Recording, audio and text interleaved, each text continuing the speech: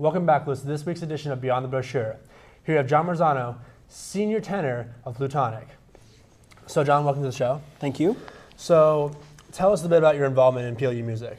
PLU music has been a very large part of my education at PLU. Um, I started out in the fall of 2009 and just jumped right in, was in choir and the opera and Plutonic. So, Okay, so you talk about involvement in PLU. How does that kind of extend it out to performances outside of PLU? It's been it's been really great. Um, Plutonic, we have gone on national television, America's Got Talent, um, and we're a part of that competition, and that was really fun. And, and we, we do concerts all around uh, Washington and in the greater Washington Northwest area. So Okay, so I heard that you guys placed in the ICCA West We did. this year. So how, how was that experience, and kind of how was that a culmination of kind of all you've accomplished as a part of Plutonic?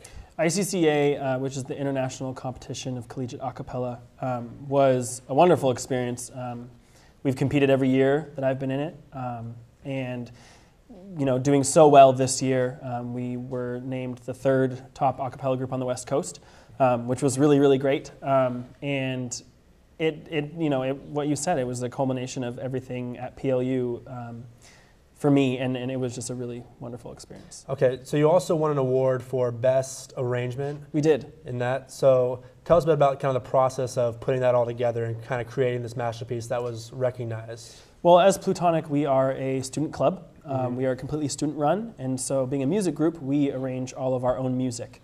And so Julian Rasenthal, a senior uh, music major, um, part of the group, he decided to. We came up with an idea for this song, and and we arranged it, and he arranged it, and he did a wonderful job. Um, and you know, it, it was great that his hard work got recognized for that. For sure. So, being a part of on campus groups, have you had the opportunity to build- be on off campus groups as any sort of opera representative, or is it just mostly do you stick to PLU?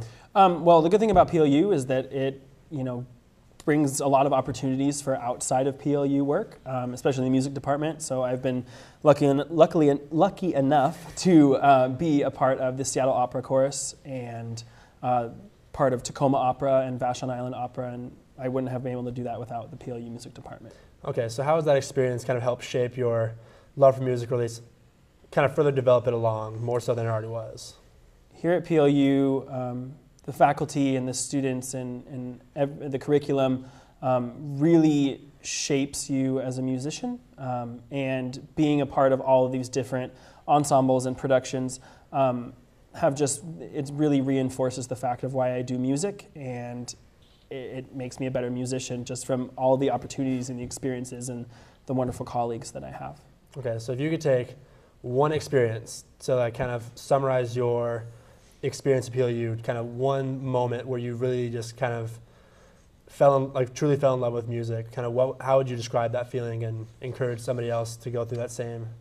Well, I don't know if I had one particular feeling because there's just been so many amazing experiences here. But being on stage um, with the high caliber of music that PLU produces, um, looking around and seeing all of the people just so excited to be there, um, and, and the impact that we have on an audience um, is just the greatest feeling. Um, it you know reassures you that you're up there doing the right thing, um, creating this wonderful music.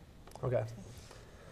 And that's all the time we have for Beyond the Brochure. This is the last episode of News at 9 for the semester and the school year. So check us out anytime at plu.edu slash masttv. For all of us here at the News at 9 crew, I'm Christian Dilworth.